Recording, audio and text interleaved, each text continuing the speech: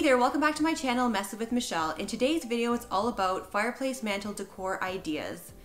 I'm going to share with you different ways I use decor to create visual interest on my mantel to have a really great focal point in my room. So if you love this type of content, including how-to videos, DIYs, and cleaning motivation, I'd love for you to consider hitting that subscribe button because I want to take you on my messy journey. So I'm going to jump in, I'll show you before of what my mantel looked like, and then I'll start the decorating. Here are before shots of my living room and the dark accent wall that used to be by my living room mantel.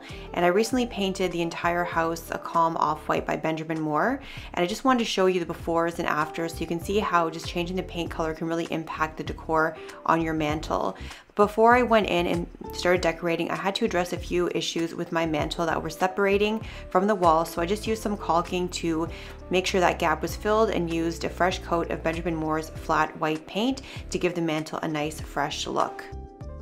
So this is what my living room currently looks like now with the walls painted and the fresh coat of paint on the mantel. I will be removing all the decor and I will be leaving the mirror above the mantel which is going to be my anchor. So when I say anchor you want to consider when you are decorating to have a large picture or a mirror above the mantel that's your anchor and your main focal point. and this is the first thing that you'll be considering when you are decorating so when you are looking for decor you can start building around the anchor point of your mantel. One of the elements I definitely wanted to have on my mantel was pops of green, just to bring some life into the room. So having the organic look of having some eucalyptus really brought the mantel to life. This is my first attempt of decorating the mantel. I used some eucalyptus as well as an aqua colored jug to give those pops of green, but I just wanted to add a bit more of a neutral color as well. So I went back to the drawing board and I found these beautiful cream vases from Urban Barn that really inspired me and went really well with the existing eucalyptus that I purchased, but I also wanted to have some contrasting colors as well. So when you are placing different decor on your mantel, consider having contrasting colors just to add a bit more of a visual interest when you walk into the room. So playing on visual interest, adding height to your mantel definitely allows you to have more interest and it just has different height variation. So when someone walks into the room, their eyes are looking up and they're looking down and they're looking all around at the elements. The last thing you want to do is have decor on your mantel that's all the same height. So this way when someone walks in, everything's just at the same level and it doesn't really pop out at them. So by giving height to my mantel using this vase and eucalyptus really gave that visual interest in the room and I was also able to pull in the organic look by placing the eucalyptus inside the cream vase. But as you can see right next to it, I added the black vase just to give not only a lowering height beside the tall vase, but also the contrasting color as well. With height, you can use so many different objects to add that visual interest. Candlesticks are a great idea. They really add the height that you can use on your mantel. And when you are placing items on your mantel, definitely consider placing in odd numbers. So as you can see here, I have the contrasting black candlestick holders. They give the height that I'm looking for, but also they're in the odd numbers and it just seems to work very well when you do have objects placed in odd numbers rather than having in pairs. It just it more visually pleasing. So definitely consider that when you are placing items onto your mantel. So once again, playing on the organic look, this pot was perfect for these small branches of greenery. So I have the organic feel once again on the other side of my mantel but I'm also creating the visual interest of having the lower ceramic vase with greenery but your eyes are going back up when you see the contrasting black candlesticks that are taller in height. I found this really cute bird from HomeSense and I thought it looked great with the theme that I was going for with organic feels, bringing the outside colors in. And I thought it was just a great addition to the mantel because it has the contrasting black color. It's still with the organic nature type of theme and it looked great beside this cream ceramic pot.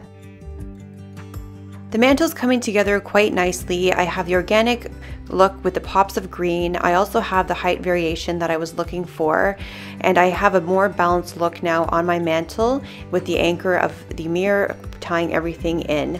But I felt like I wanted to add something more personalized to my mantel, so I created a very simple DIY to really put the personal touch on my mantel and to display. I found these really great frames from Marshalls and instead of buying a photo that was mass produced, I decided to use photos that I've taken personally myself and it just places and cities that I have visited.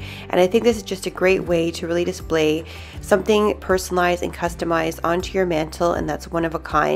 So I just use various sizes of frames. I have an 8 by 10, a 4 by 4, and a 4 by 6 and I just use Walmart's photo center to print out the photos and now I'm just placing them into the frames and I'll show you in just a moment how I display them onto my mantel.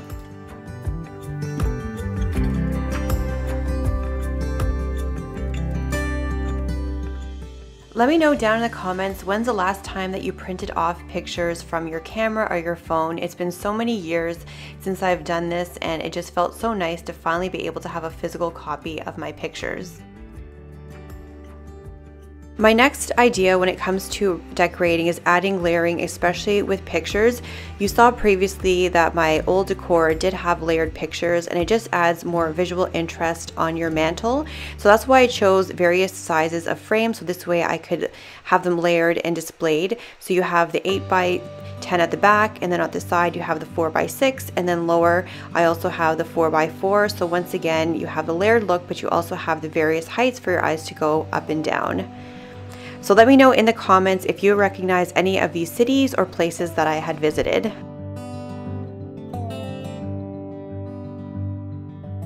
So here's the before of my mantel of what it looked like previously and here is what it looks like now and I have to say I'm really pleased how everything turned out and my vision really came to life and all the ideas that I had really were shown and displayed. I have the anchoring of the mirror that I worked around, I have the height, I have that organic feel, but I also have the contrasting colors. So this way you have more visual interest when you walk into the room. And you will notice that I did add my clock back to the mantel just because I absolutely love it and it just works so well on the mantel and tied in really well with the new decor. So it's great to have a new look on my mantel but also be able to use older decor pieces to also display. I really hope you enjoyed today's video and if you don't have a mantel in your home, you can also use these same tips for decor for shelving. So I really hope you love this video and if you did, hit that like button on your way out and I'll see you next week when I upload my next video next Sunday.